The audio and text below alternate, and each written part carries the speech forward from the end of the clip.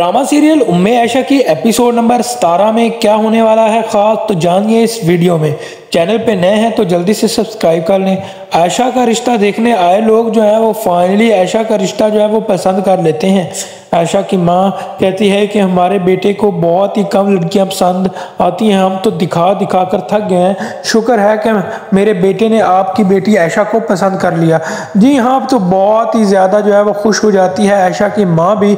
तो फाइनली जो है वो रिश्ता पक्का हो जाता है आयशा का, अशर के साथ। जी हाँ लड़के का नाम है अशर, जिसकी माँ उस बोलती है कि मेरा बेटा बहुत ही चूजी है, शुक्र है उसको आयशा पसंद आ गई। अब मेरी जो है वो घर घर जाकर लड़कियाँ देखना की जो थकन है वो दूर हो गई, अब मुझे और कहीं नहीं जाना पड़ेगा।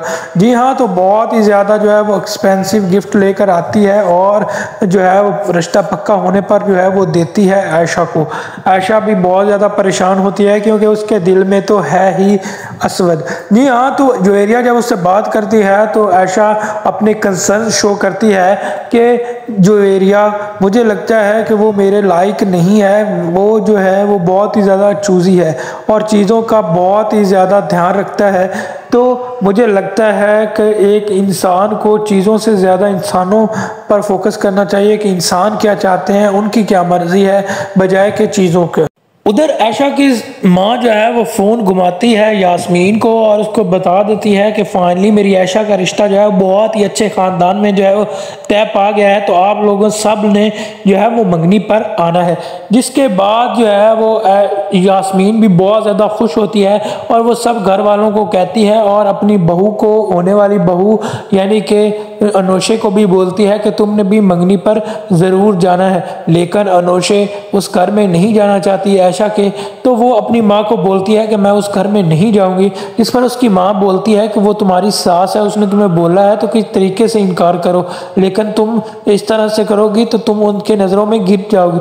जी हाँ जिसके बाद वो बोलती है अपने जो है वो फ्योन से यानी कि असवद को कि मेरी तबीयत ख़राब है, लेकिन मैं नहीं जा सकती।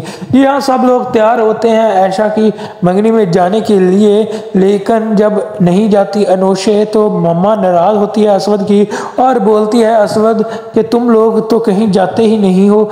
मैं मर गई तो तुम किसी का ख्याल भी नहीं रखोगे, जिस पर असवद को बहुत ज़्यादा दिल पर चोट लगती है और कहती है कि मम्मा, ऐसी कोई बात नहीं, मैं हमेशा आपके साथ हूँ। जी हाँ तो जैसे ही मंगनी पर जाते हैं तो असवद जब देखता है आयशा को इतना खूबसूरत तैयार हुए तो देखता ही रह जाता है। जी हाँ आयशा तो पहले ही असवद के प्यार में पागल हुई पड़ी है, वो भी देखती ही रहती है। आपको क्या लगता है कि यहाँ पर होगा कोई सीन क्रिएट और ऐशा की मंगनी टूट जाएगी, क्योंकि अशर जो है वो जब इन दोनों को इकट्ठा देखेगा तो कहेगा कि मैंने तो ऐशा से शादी करनी ही नहीं, ना ही मंगनी करूँगा। आपको क्या लगता है कि ऐसा होगा या नहीं, और क्या फिर असवद थाम लेगा हाथ? ऐशा का कमेंट में ज़रूर बताइएगा।